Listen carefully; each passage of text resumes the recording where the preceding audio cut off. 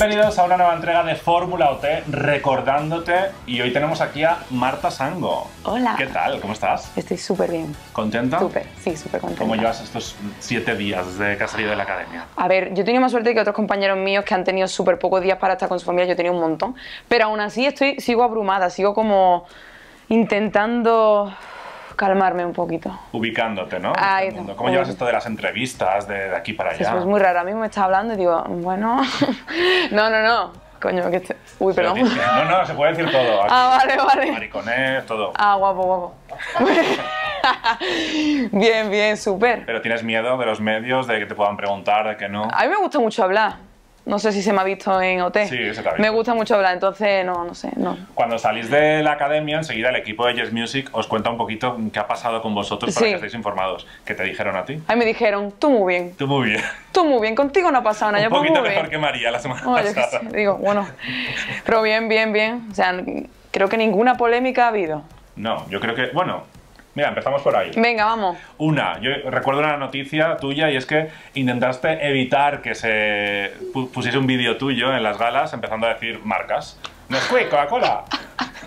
Claro, porque nos tenían dicho que no podíamos decir Nesquik, Coca-Cola, Nutella, no sé cuánto, no sé qué. Y claro, a ver, yo es que, a ver, en ese momento yo lo que, lo que pasó fue que dije, a mí me van a nominar, no sé qué. Mm. Claro, Era como un poco que se predecía un poquito. Y, y claro, yo dijo, claro, que esto es que a lo mejor luego lo pueden poner en el vídeo de la gala y se hace un vídeo de esto en plan yo todo rato rayá, porque claro, ha habido muchos vídeos de eso. Y luego y dije, claro, con Nesquik, Coca-Cola, no sé cuánto, no sé qué, ya no lo van a poner. Mentira, porque un vídeo se puede cortar, obviamente, Sí, ¿no? editar. O sea, se puede editar perfectamente. A María le pasó algo igual, pero... Pero ve que yo lo dije en plan de cachondeo, ¿sabes? Fue como, "Eh, Nesquik, Coca-Cola, no sé qué. Vamos a empezar por el principio de esta historia, por los orígenes de, de los tiempos. Cuéntanos por qué decides presentarte a, a OT, porque creo que desde los tres años eras una apasionada de la música. Sí. A ver, mi madre se presentó a OT en el OT2, o sea, el que vino después de, de Avival y tal. Estuvo aquí Vega el otro día, OT2. Sí, pues mira, mi madre estuvo a punto De de... ser no, de mentira, que no, que no pasó de la primera, de la primera fase, pero bueno. Eh, No, ella, yo de ella, pues me llevo todo este oído, o sea, todo el oído que yo tengo y yo toda la capacidad, yo creo que viene de mi madre. ¿Qué pasa? Ella me dijo en OT 2017, preséntate, Marta, que no tienes... Y yo, "Uy, me voy a presentar yo OT, que yo, yo no me voy a presentar eso. Pero yo me metí y digo, venga, va a ver, ¿qué esto qué? pero no pude presentarme porque no tenía 18 años. Total, que le dije a mi madre, ah, mira qué pena, no puedo presentarme porque no tengo 18 años. Pero con la Gala Cero me enganché, con el revuelo esto que hubo con la Gala Cero de Hotel 2017, Fue un poquito apocalíptica. un poquito. Entonces yo, pues yo me enganché con esa gala y bueno, yo me convertí en súper fan de OT. Entonces ya por eso me... Pero casi se me olvida el casting de OT 2018, casi se me olvida. Casi, casi. O sea, de tu madre, eh, ¿te ha contado alguna anécdota de ese casting? ¿Coincidió con alguien de los que finalmente entró? hostia, no, no, no me ha contado nada. Simplemente que se equivocó cantan- cantando la canción que escogió. Y- Se equivocó con la canción. Fue Noemí la que le dijo que no. Ay, no me acuerdo. Ella no, me acu- ella no se acuerda tampoco. Que va, que va. Con eso no te voy a poder. Volvemos al tuyo, a tu Venga. casting. Eh, ¿Qué canción cantas? ¿La primera? ¿Qué La primera toca? de todas fue una de Michael Jackson, para variar un poquito. Eh, la de PYT, del disco Thriller, la última. Eh, pues canté esa. Por cierto, he repasado mi casting y. O sea, no me lo esperaba así, pero bueno. Está bien la evolución, también está bien para ver eso. Es un programa de eso, ¿no? Claro, claro, es de eso. una evolución grande Sí, contigo. sí. Yo estaba, bueno, yo estaba súper nerviosa, pero sí. La primera fue PYT. Y la segunda fue eh, I Am What I Am, que esa la cantamos de grupal. De hecho, de grupal hemos cantado dos canciones que yo tenía en la listilla. Esa fue mi primera fase. ¿No cantaste ninguna de Rocío Durcal? No canté nada de Rocío Durcal, no, no, no. A mí me encanta Rocío Durcal, pero eso se lo dejo a ella. ¿Qué ha pasado con Rocío Durcal? ¿Qué ha pasado? ¿Qué, comentaste en la Escúchame. academia? Que he visto en los medios que han dicho que a mí me encanta Buah. Rocío Durcal. Claro, porque es que a mí me encanta. O sea, a ver, yo no soy mega fan de Rocío Durcal. Yo dije en una entrevista que yo empecé, o sea, de los primeros recuerdos que yo tengo fue con Rocío Durcal. Mm. ¿Qué pasa? Eso se cogió como que yo cantaba, yo qué sé, ranchera, cosas así. Hombre, lo que dijiste, en el casting dijiste, a mí es que Rocío Durcal me cambió la vida. No, yo no dije, a ver, Vamos bueno, a recuperar el vídeo. ha- habría que recuperar ese vídeo. Yo dije, bueno, desde que escuché a Rocío Durcal, porque eso fue el- lo primero que yo Mm. eh, recuerdo. Mm. ¿Qué pasa? Que, que no, que no, que yo no canto cosas de Rocío Durcal, la verdad. Yo canto otro estilo, como, podido, como habéis podido comprobar en esta edición. Entonces llega esta gala cero y cantas este Superstar, que a mí yes. me sorprendiste porque yo venía con, mentalizado con la idea esta de Rocío Durcal y de Claro. te marcas este, este numerazo que estuvo muy bien, ¿no? Para una gala cero. A ver, sí. De hecho, me llegaron a decir que, o sea, que yo de- a partir de la gala cero hice así. Mm. Que no estoy muy de acuerdo con eso, ¿no? Pero es verdad que fue una buena actuación. Sí, sí. Yo estaba por dentro que no podía conmigo misma, ¿no? Hombre, normal, porque jugabais un poco en, en Sí. esa gala eh, vuestro paso a la academia, Obviamente. como el casting final. Además, esa canción, bueno, esa canción junto con muchísimas otras de que yo misma he escogido, nunca la había cantado en mi vida. O sea, yo me he ido poniendo canciones porque sí, ¿Y porque por me ha dado. ¿Por qué escogías canciones que no habías cantado nunca? Porque tampoco había cantado yo mucho. O sea, que yo, yo antes de entrar en OT, yo nunca había cantado sola. En plan, yo no tenía un repertorio Mm. como cantante. O sea, yo no era cantante, yo era. Sí era cantante, pero pertenecía a un grupo a capela, que pertenecía a un coro. O sea, yo no me consideraba como artista individual, ¿sabes? Entonces yo no tenía un repertorio. Yo tenía canciones que me gustaban. ¿Cómo es ese momento en la gala cero en el que te lo estás jugando todo, no sabes si vas a entrar? ¿Cómo eran los nervios? ¿Cómo gestionabas los nervios? Buah, en ese buah, tío. O sea, estuvimos cinco días, fueron cinco siete días, no me acuerdo, en el hotel, que estábamos todos, tío, yo no sé si yo voy a entrar. Yo no, yo no voy a entrar, ¿sabes? porque tú estás aquí, yo, yo, yo qué hago aquí si tú estás aquí, ¿sabes? Yo no voy a entrar. Pero luego tuve buena sensación cuando terminé la canción, Mm. sí, sí. Y luego ya cuando Joe me dijo eso de que vas a hacer grandes cosas, hola ahí. Bueno, entraste, primera gala, eh, ella con María, Ella, fue un sí. numerazo, empezasteis muy bien las dos. A mí me gustó. Nosotros A fuimos de las ver, que las defendimos. de aquí. actitud, perfecto, pero Estuvo bastante bien, a mí A me ver, gustó. pues sí, sí, a ver, sí, pero nosotros en el repaso fue como, tío, podríamos haberlo muchis- hecho muchísimo mejor. Pero bueno, que sí, nosotros estamos súper orgullosas.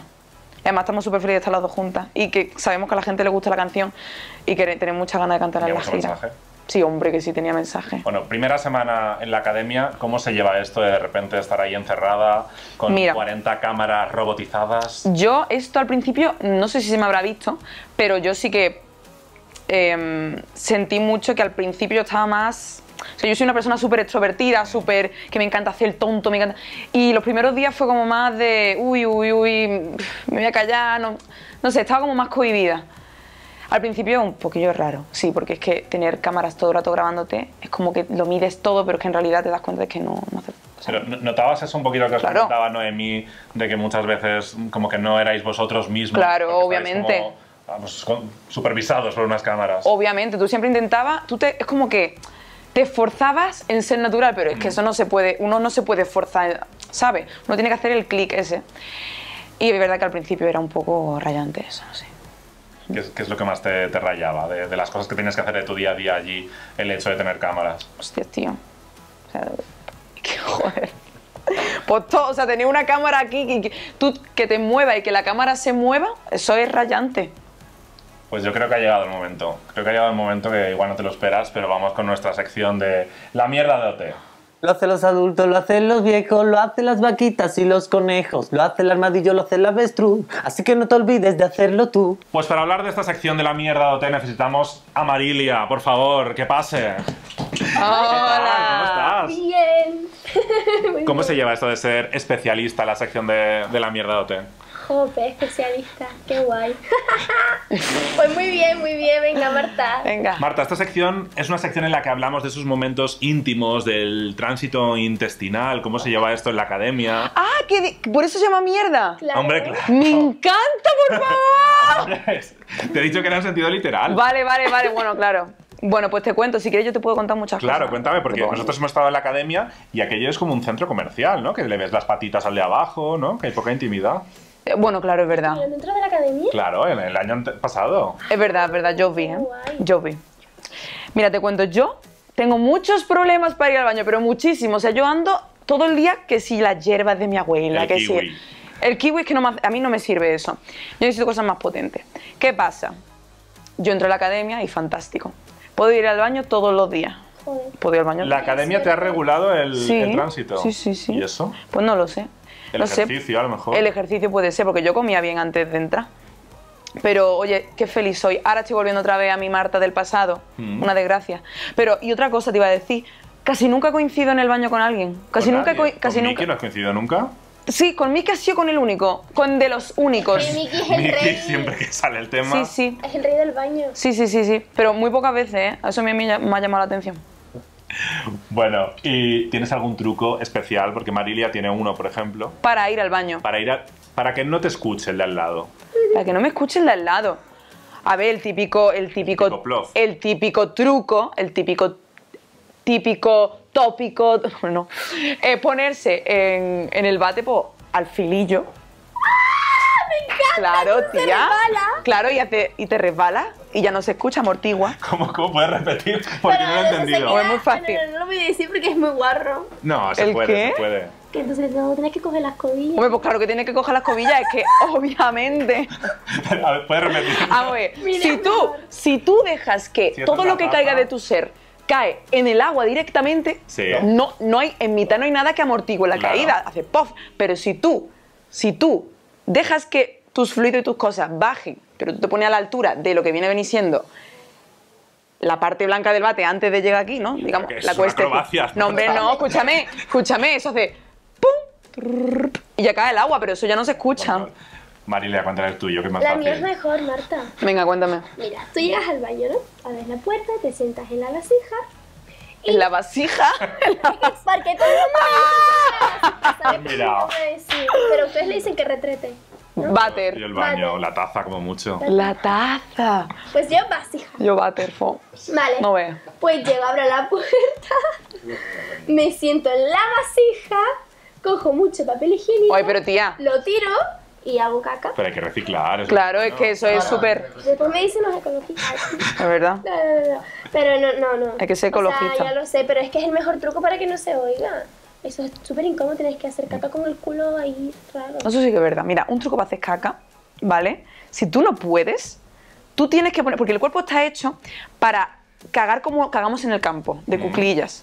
¿Qué pasa? Tú cuando estás en el bate sentado, tú no estás de cuclilla, tú estás así. Entonces, si tú te pones abajo un escaloncito, una- un taburete y te pones las piernas así, Mira, Marta, qué complicado todo, ¿no? que no, no, no, que eso, eso viene en muchos artículos en internet. Vale, lo buscaremos. La semana pasada nos dijeron tus compañeros que a ti nunca te han visto ir al baño. Uy, uy, uy. Que tú siempre estás perfecta y nunca vas al baño. No, pues sí que iba, ¿eh? Sí que iba. Bueno. Sobre todo por la noche. Ya que estamos hablando de esos momentos íntimos, vamos a hablar de cuando se apagaban las luces a las 11 de la noche, os quedabais ahí en la habitación, ¿qué pasaba? Ahí esas fiestas locas en las que caían libros, papel higiénico... Marta Escúchame, rompió una cama. que yo no rompo. Que yo no, yo no, yo no. ¿Cuándo? ¿No te acuerdas? ¿Cuándo? Con Damio. Ah, en la fiesta de Que me esta. echaron la culpa a mí, pero es que ¿Pero qué hacíais para romperla? subida. Mira, ¿sabes qué pasa? Fue en un chat. ¿Sabes qué pasa? Que parece que, que estamos de fiesta en la habitación todo el día y no es así. Mira, te voy a decir una cosa. Facebook la lía en la habitación, pero no por nada, no por nada. No por nada, no por nada, sino porque nosotros llegamos a la habitación, nos dormimos, en plan, porque hay sueños, ¿sabes? Estamos en hotel, hay sueños. Nos dormimos y claro, Famous está duchándose mientras él, porque él le gusta ducharse a las once y media de la noche. eh, y claro, cuando tú ya estás Llega Fimu, ¡pum, pum, pum! Se tumba, ¡pum!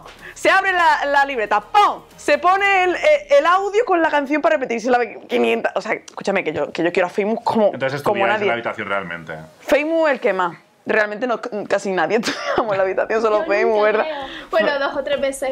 Sí, pero Famous sí que es verdad que en la habitación. Eso. ¿Cuáles eran esas cosas, las que se puedan decir, que os guardabais para la habitación, que no se podían decir públicamente Hostias, a ante ver. la cámara?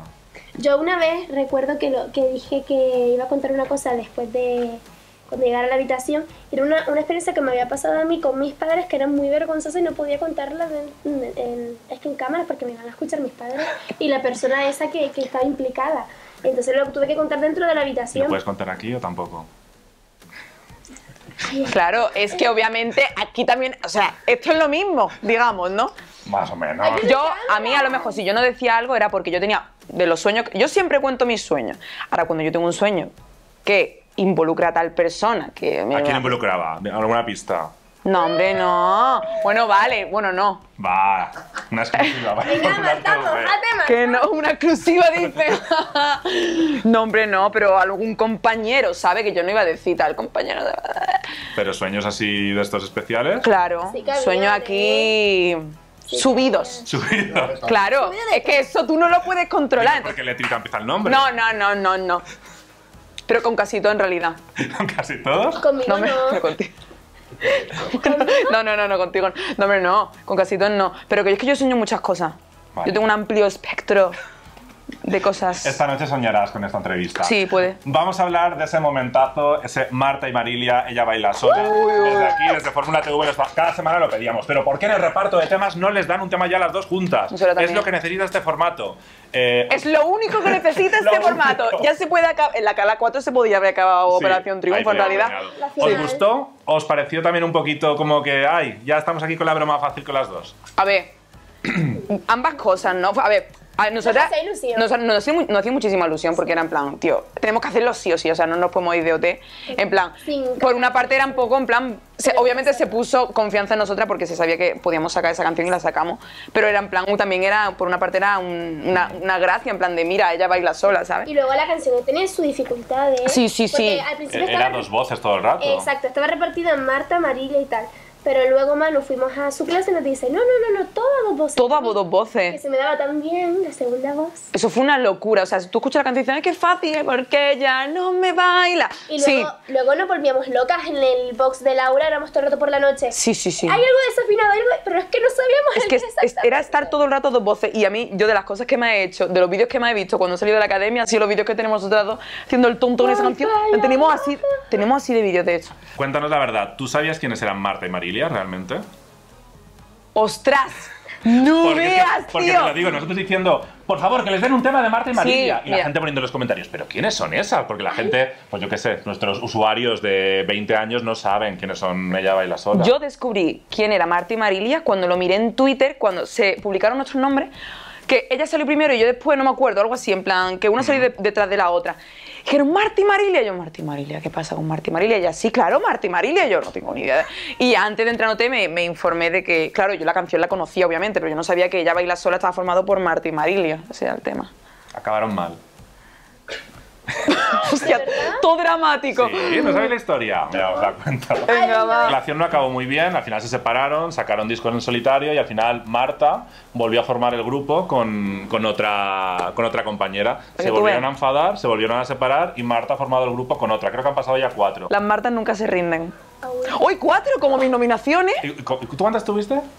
Tres. Tres. Entonces tú serías la cepeda de esta edición. La verdad. Sí, yo soy, yo soy la más, con las más... Bueno, yo, yo creo que vosotras dos sois las que más veces habéis estado nominadas, ¿no? ¿Cómo se lleva ese Sí. peso de estar ahí, de hacerlo bien? Porque muchas veces cuando estáis nominadas es cuando os marcáis las mejores actuaciones y de nuevo, otra vez nominada la semana siguiente. Entiendo que Buah. os moraliza un poco. A ver, desmoralizar, o sea, realmente a mí me encantaba porque yo decía, puedo coger mi tema, tío. O sea, si nunca hubiese estado nominada, a lo mejor no podría haber cantado, tío, una de Michael Jackson. Y a mí eso, yo quería cantar una canción de Michael Jackson.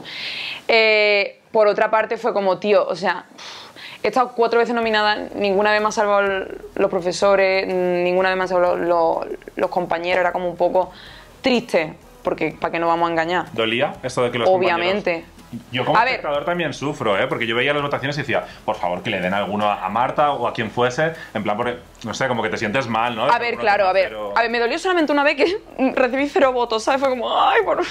Pero bueno, hay que, nosotros eso lo hablamos mucho en la habitación. Esas cosas, por ejemplo, lo hablamos de, mira, realmente no pasa nada, porque es que es un es es súper complicado ese momento. Totalmente. Y tú cómo vas a escoger entre no sé cuántos compañeros, al final... Yo la verdad que, que con respecto a que no me salvaran mis compañeros no le di mucha importancia. Eso no. hecho, cuando salí Era de- peor, obviamente, lo de que no te salvasen los profesores, porque... se su- no sé. Era como que... Yo cuando salí me decían, jope, es que no te salvaron nunca tus compañeros. Y yo decía, o sea, yo no, no había sido consciente de que no me habían salvado. Y no me lo tomé mal, no. De hecho, bueno, la, la única nominación así que me la tomé mal fue la de María Seo de las Calles porque no me lo esperaba. Es que lo hiciste muy bien esa semana. Y bueno, pero ya luego me las tomaba muy bien. Yo encantada de la vida. ¿Y del jurado? ¿Qué es lo que más te ha molestado de todo lo que te han podido ir diciendo a lo largo de las semanas? A ver, yo con el jurado es como que. O sea, siempre. ¿Cómo se dice? Aceptado muy bien lo que me decían. ¿Qué pasa? O sea, me han dicho cosas que de verdad me han servido muchísimo, en plan, por la parte positiva, pero luego obviamente pues, también había comentarios, a ver, ¿qué te diría yo? Obviamente lo de la confianza, tío, eso a mí ya me empezó a matar bastante, en plan... Pero ya era que yo, pues la semana trabajaba bien, tío, yo estaba contenta con mi canción, ta, ta, llegaba, cantaba, pero como antes había un vídeo, no sé, yo no sé por qué era, pero es verdad que salió un vídeo diciendo, tío, hay que ver que no sé cuánto, porque yo sé que sí que me expreso todo lo que digo, ¿sabes? Pues hay un vídeo que, mm, perdón, pues ahí tengo que hacer tal y cosa que no me sale, que al final luego me sale, pero me sale.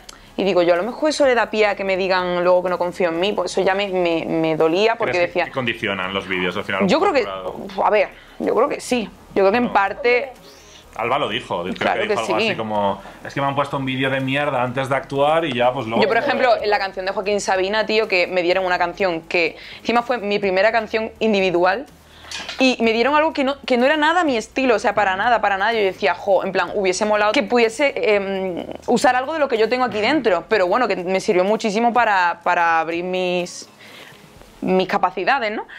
¿Qué pasa? Que en ese yo, yo pasé un- una evolución, o sea, yo tuve una evolución con esa canción dura, en plan, porque yo no sabía cómo afrontarla. Entonces eso se vio en en el vídeo. En el vídeo lo que se vio fue eso. Entonces yo, por mucho que luego lo, lo defendiese bien, se me, se me atacó el, el- Eso, se me atacó. O sea, yo vi que el vídeo influyó Que es mejor estar callado en la academia para que no tengan motivos para... Coca-Cola, Fanta, Neco...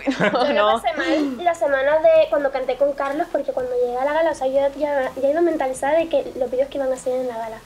Y cuando lo vi dije, qué bien. O sea, me los tomé bien porque iba mentalizada, pero fuera se vio un poquito de aquella manera. ¿Y, alguna semana que no fueseis a la gala mentalizadas y de repente os topáis con un vídeo que decís, pero ¿qué es esto? El que te acabo de Sí, contar. sí, no, me, me sorprendió, o sea, me sorprendió el vídeo de Joaquín Sabina porque fue como, tío, me lo he currado un montón. O sea, de verdad, me lo curré un montón para poder defender esa canción. Y luego fue como, "Psh". pero bueno, De todo se sale. de todo se sale, de todo se aprende. Eh, exacto. Has sido la penúltima expulsada de esta décima edición de Operación Triunfo. ¿Tú te veías ya... Bueno, eh, como finalista entiendo que sí, porque estabas ahí a las puertas, pero ¿te viste alguna vez como ganadora? Mm, no. Como ganadora, no. Tío. O sea, a ver, es que En el top 3. Pues mira, eh, al principio di- dije, o sea, porque yo al principio entré, cuando conocí a todos mis compañeros, fue como, mira, tal persona ha estado en no sé de qué sitio cantando. tal. Y yo venía de, de mi grupo, o sea, yo no había cantado en mi vida sola, entonces era como, o sea, yo he sentido que mi evolución ha sido más lenta que obviamente que la de otro, pero porque cada uno tiene su experiencia y tal. Pero sí que es verdad que a medida que se fue avanzando el programa, yo cada vez me veía más, Mm. o sea, tenía más esperanza en mí. O sea, realmente yo eh, en la gala 11 decía, jo, yo quiero estar en la final, ¿sabes? Pero bueno, también esto, esto es un programa y esto tiene... Bueno, en la final vais a, vais a estar, porque vais a estar, entiendo que, que todos. Hombre. Y también vais a estar en la gala de preselección de Eurovisión, porque ya se han repartido los, los temas. Yes. 17 temas. eh, entre 13 concursantes, porque hay tres eh, que son Dave, Alfonso y África que se han quedado Que se sin, han quedado sin dos velas. Empezamos por partes. ¿Cómo Vale. has recibido tú, por ejemplo, Marta, tu, tu canción? Ostras, pues con muchísima Vuelve. ¿no? Si no me. Vuelve, vuelve se llama, sí, sí. Y yo decía, yo decía, vuelve tan inesperadamente siempre. Pero no, No no es es esa, obviamente, no. Es una canción que alguien ha compuesto para mí o que alguien ha compuesto y que yo la tengo. O sea, me parece increíble. Y voy a intentar darle mi rollo así todo chulo, hacerlo guay. Yo, yo- yo estoy ilusionada, o sea, me parece súper fuerte tener la oportunidad de por lo menos eh, ser candidata. Mm, Pero algo, no nos puedes decir nada, pero No. alguna pista, no sé. Mueve tu cuerpo, lo que te transmite la canción, o la expresión de tu cara, algo, al- algún- alguna pistita. ¿Cómo es Vuelve realmente? Ostras, esto es un poco fuerte. Inter- interprétala un poquito, no sé, con movimiento corporal. Es lenta, Es romántica, es romántica. digamos. ¿La sientes la letra? Si te soy sincera, tampoco me ha dado tiempo a repasármela y, hacerme una clase de los Javis con esa letra. Pero, pero a mí me gusta, a mí ¿No, me no te ha pasado un caso en plan lo malo que el año pasado cuando se la dieron No, no. Era, "Ay, No, me que va, que va, esta"? que va.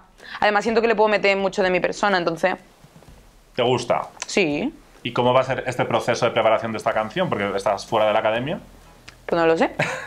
no tengo ni en tu idea. casa, ¿no? De momento en mi casita aprendiéndome la letra. Sí, sí. Bueno, En tu caso. En mi casita no, claro, en el hotel, en en donde Hotel, En sea. AVE, en Forma TV. Claro. En tu caso, Marilia, tienes dos temas, uno en solitario y otro con Joan Garrido. El reencuentro. eh, cuando los escuché me hizo muchísima ilusión. O sea, fue como, madre mía, qué fuerte que me esté pasando esto. Eres una de las privilegiadas, ¿eh? Ya. ¿Qué más canciones tiene? Ya, yo estoy flipando todavía. Y el tema de Jan es que. Es que no puedo decir nada, pero. Hombre, algo, no sé si decir con la cara, movidito, lento. Es de mover el culo. Ay, ojalá. No, no. Ah, No, no. Ojalá dice. Es súper bonita, o sea, es así como Romántica. muy cuiquita. Y, y bueno, qué, qué, qué, qué ilusión cantar otra vez con, con Joan. Y la mía, joder. O sea, yo no me esperaba nada así. Pero es que, o sea, me hace tanta ilusión, no sé, la verdad que me encanta. Pero es, es movidita. Sí, es así. No puedo decir Pero nada. es que un te poco de movimiento. Es que te la cantaría, Vas a- que ya me un poquito, canta un poquito. No, no, Lo ponemos en mute luego. Claro. Vas a empezar en un naro. pero que la tengo todo el día en Ah. bucle. Ay, ojalá. No, la tengo todo el día en bucle. O sea, es súper pegadiza.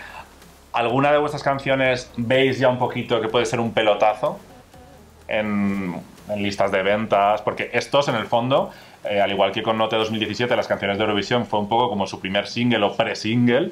Estas pueden ser también vuestra carta de presentación un poquito en los próximos meses. ¿Creéis que alguna tiene potencial? Si te digo la verdad, a ver, la canción, yo no, o sea, al igual que ella, yo tampoco me esperaba el, el estilo de la canción para mí. Eh, a ver, yo, a, a mí me gusta la canción, pero, o sea, no me la, no me la esperaba. Pero no lo sé, o sea, que se puede, esa o sea, se puede, se puede, mm, me estoy trabando muchísimo. Depende de la producción también, ¿no? De la canción. Exactamente, gracias. O sea, obviamente se puede, una canción puede ser de muchísimo, digamos que ahora mismo tengo una base, Mm. ¿vale? Y yo creo que ahí puedo construir muchas cosas guay. Bueno, y viene la parte un poquito más negativa y es que tres compañeros vuestros han quedado fuera de, esta, de este reparto de temas. ¿Cómo lo habéis vivido vosotras? Eh, ¿Cómo lo han vivido ellos? Que supongo que habréis hablado con ellos. Pues. Hombre, yo. Fatal, ¿no? Digo yo, Me vaya. pongo en su piel y es como, madre mía. Es que te sientes sea- como, exclu o sea, realmente excluido de... ¿Por qué? O sea, ¿por qué? Es que no hay una explicación. No hay una explicación porque realmente tampoco han sido los tres primeros que salieron. O sea, realmente Dave... No salió, Joan salió antes que Dave, por ejemplo. O sea, no, no es que sea ese motivo. Exacto. Y si fuese ese motivo tampoco tendría sentido, ¿no? Pero, Y, y según las bases, al menos tres canciones más eran posibles. claro, Pero obviamente. Supuestamente había mil canciones escritas, ¿no? Sí, no, pero que se iban a seleccionar 20 y se han seleccionado Ya. 17, entonces había... Claro, o sea, a mí me parece genial que yo tengo una canción, que gente tenga dos canciones, tres canciones incluso, pero si hay gente que también pueda tener la suya, o sea, eso me, Exacto. me parecería... ¿Habéis escuchado ya el, el tema de algún compañero también, más allá del vuestro? Sale de nosotras. Nosotras, que nos acabamos de encontrar hace un rato. Sí. ¿Y te gusta el de ella? Ay, sí. ¿Cuál te gusta más, el de ella o el tuyo? Ala. No, hombre. Son totalmente diferentes. Sí, no tiene realidad. nada que ver. Nada. O sea, no tiene nada que ver. Bueno, el otro no te lo he enseñado. Es verdad. Es que no lo daba tiempo, se lo enseñé aquí. Ah, luego me lo pones. Eh, no. Y, mm, y son totalmente diferentes. Pero eh, es súper bonita, a mí también me gusta mucho la melodía. Bueno, y este domingo ya grabáis la, la demo de un minuto. ¿Qué? Efectivamente. ¿Qué minutos nos pondrán? No sabéis No qué minuto idea. va a ser. No Sorpresa. tengo ni idea, la verdad. Bueno, también tenemos ahí a la vuelta de la esquina, la- de hecho se graba ya la semana que viene, una gala navideña con los concursantes de, de esta edición, con algunos de, de la pasada. ¿Con quién os gustaría a vosotras cantar? A mí con Agoney, ¿Por qué? porque me encanta Agoney, siempre lo he dicho. Me encanta su voz, me, me gusta mucho su estilo, A mí verdad. con Ana Guerra o no lo sé, con todos. Con todos. Hombre, a ver, es que claro, yo te puedo decir muchísimas más personas. Pero no Pero- sé. Bueno, ahora que ha terminado ya OT, estáis centradas en la Eurovisión, pero después, ¿qué te gustaría hacer? Marilia está dividida entre los musicales y, y un disco. Yo me veo más en el en sacar música, Mm. sí. O sea, ¿Compuesta por ti? A ver, eso lo estoy trabajando más. O sea, yo nunca he compuesto. Estoy intentando ahora empezar. Mm. Y yo sé que al principio necesitan más ayuda, obviamente, ¿no? No voy a poder sacar una canción entera. Bueno, quién sabe, quién sabe.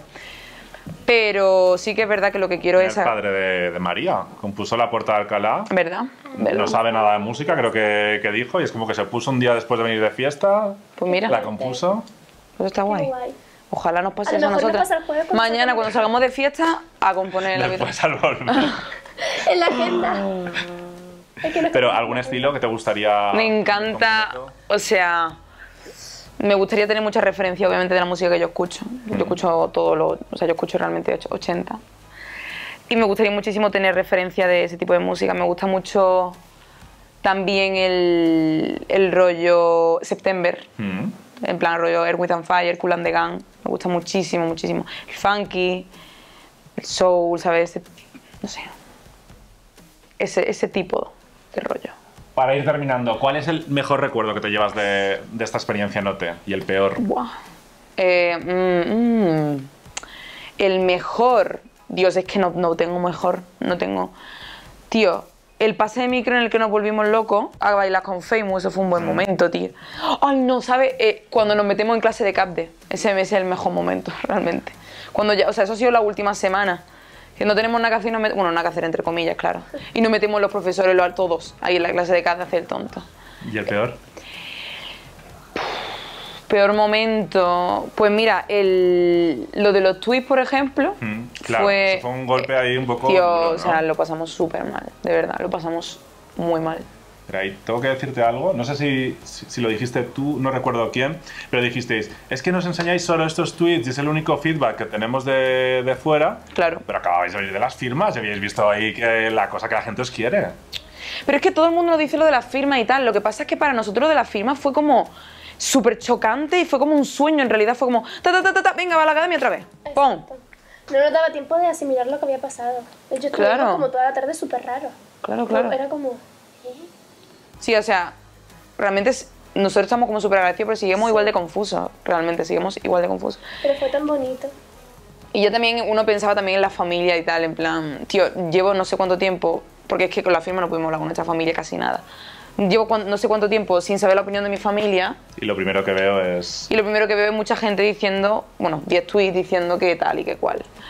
Entonces, Vamos a acabar a lo grande, si os parece, si queréis. Venga. ¿Cantáis un poquito las dos? No Venga, sé por- si yo no me ella dos. baila sola. venga. Porque ya no me baila un gusano en la tripa cuando suena el teléfono y escucho su voz. Porque no me arreglé ole, para la última cita y no usé su perfume ni me puse tacón. Ole. ¿Será que la rutina ha sido más, más fuerte? Se han ido la ilusión y las ganas de verte, pero me cuesta tanto Decir la, la cara. Esto ya está variando, el, el- el estilo ha, ha variado como tres veces. Entonces, lo echamos a suertes. Lo echamos a suerte. ¡Bravo! ¡Ole, ole! Ha el tra, tra. tra, tra. Hombre, ahí. Bueno, chicas, pues ha sido un placer teneros aquí. A Marilia por segunda vez, Marta por primera vez. Esperamos que no la última, que vengas. Hombre, claro. De momento, la semana que viene, el miércoles, nosotros nos vamos, David, a mi compañero que no la habéis conocido porque está en Hawái. Bombay. Pero la semana que viene nos vamos a Terrassa y vamos a estar allí con vosotras en la, en la gala final. Guay. Supongo que cantaréis Somos o algo, ¿no? Somos la ciudad perdida. La que sin miedo nos da la vida. Hombre, seguro. El himno tiene que estar en la gala final. Sí, sí, claro. Sí, sí. Y nada, os deseamos muchísima suerte con esta preselección de Eurovisión, que precisamente ese día, el día de la gala, a las 12 de la noche, vamos a poder escuchar esa demo de todas las canciones. Ahí os, os diremos qué nos ha parecido. Y si os ha gustado este vídeo, ya sabéis que os podéis suscribir al canal de YouTube de Fórmula TV haciendo clic por aquí. Y podéis dejarnos por aquí todos vuestros comentarios sobre qué os ha parecido eh, Marta, qué os parece Marilia, eh, qué opináis sobre sus temas, creéis que os van a gustar, que no. Y nos vemos en el próximo vídeo de Fórmula T. Adiós. Chao. Mua.